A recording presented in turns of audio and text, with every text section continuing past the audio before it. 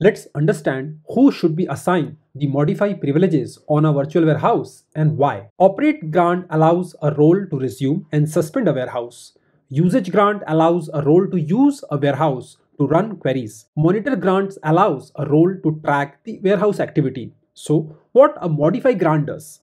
A role or a user will not be able to alter a warehouse if modify grants are not assigned to them. When you try to edit it via web UI using edit warehouse, the save warehouse button appears disabled. So let's give the modify grant to a public role and this is how the SQL syntax looks like. Now the grant query executed successfully and when I come to my edit warehouse screen, I can see the save warehouse button is enabled and I can alter the warehouse and save it. So the modify privilege on a virtual warehouse allows a role or a user to edit or alter a virtual warehouse. To know more about virtual warehouses, watch my chapter 12 from my Snowflake playlist.